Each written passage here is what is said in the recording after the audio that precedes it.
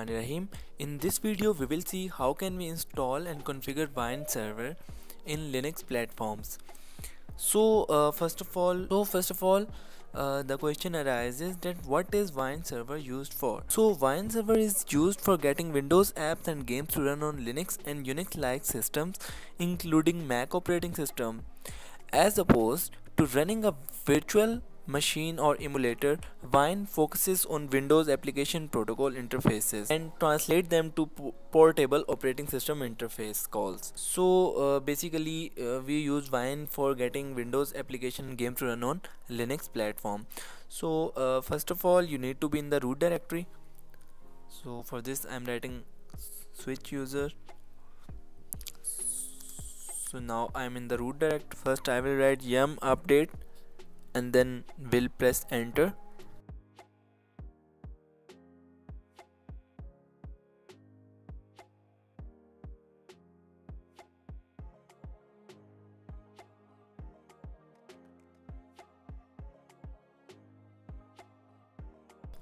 Now uh, the yum update command is updating all the packages.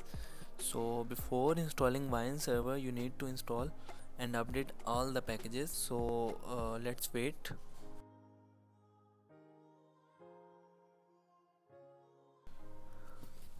So now uh, all the packages are updated.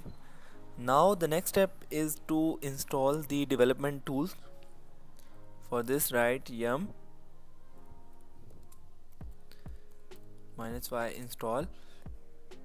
Minus y uh, is a flag used for auto permission auto yes permission. Now press enter.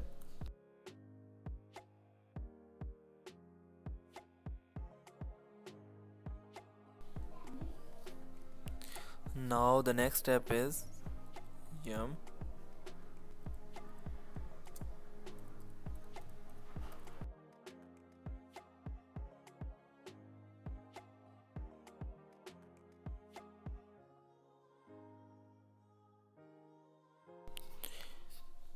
now press enter.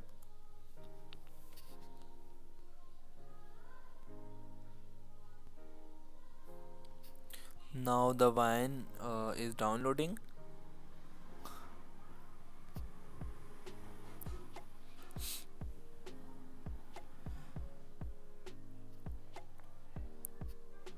Now write sudo yum install wine and then press enter.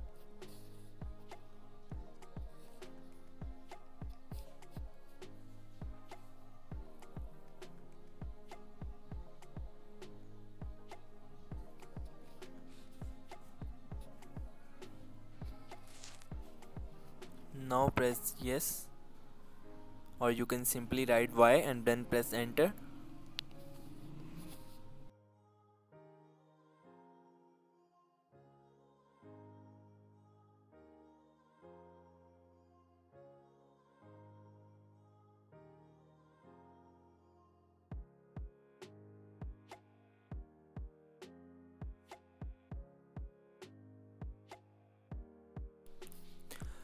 now the wine installation is completed. So uh, that's how you can install and configure the wine server. I hope you understand. Thank you so much for watching